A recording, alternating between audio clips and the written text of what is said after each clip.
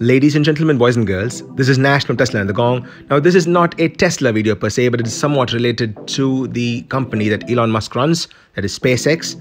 But in essence, this is a fan made iOS app called Pocket Rocket. It is a paid app and it is about $5.99 Australian in the iOS App Store.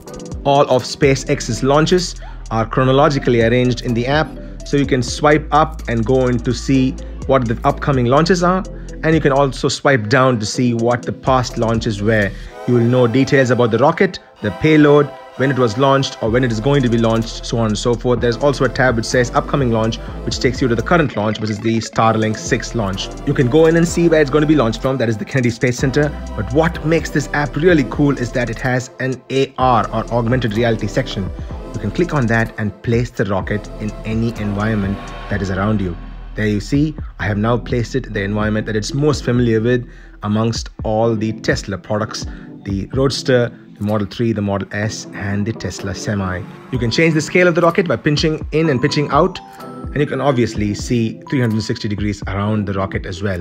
It's a really cool app. Please do check it out. And now for some visuals.